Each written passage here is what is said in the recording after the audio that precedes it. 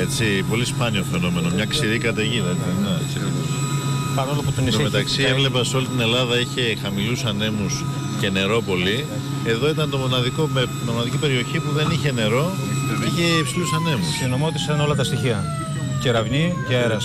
Και ρηπές ανέβω 7 από χώρα. Και είναι σε τρία διαφορετικά μέτωπα ή τέσσερα; Είναι αμέτρητες αιστείες σε τρία πεδία. Αρχικά ήταν τρεις οι πυρκαγιές, αλλά μετά διασπάστηκαν πολλαπλώς και έγινε μια πολύ μεγάλη προσπάθεια μέχρι σήμερα για να μπορέσει να φτάσει σε αυτό το σημείο. Τόσο οι επίγειες δυνάμεις όσο και οι αέριες καταβάλουν προσπάθειες από την πρώτη μέρα. Οι, Είναι τα παιδιά σκληρές. που τραυματιστήκαν είναι καλά; Είναι καλά, είναι καλά. Ο πιο σοβαρός τραυματισμός ήταν κάταγμα από ιούς ε, συνάδελφο, χειρουργήθηκε στην Καβάλα. Έκανε Οι υπόλοιποι- χειρουργείο. ναι, ναι. Και οι υπόλοιποι τέσσερι δεν είναι ευτυχώς δεν είναι σοβαροί τραυματισμοί.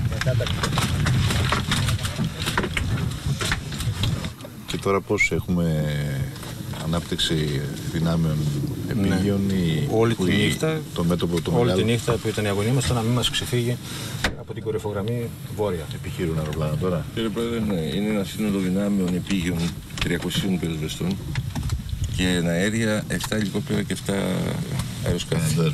Φαίνονται. Φαίνονται.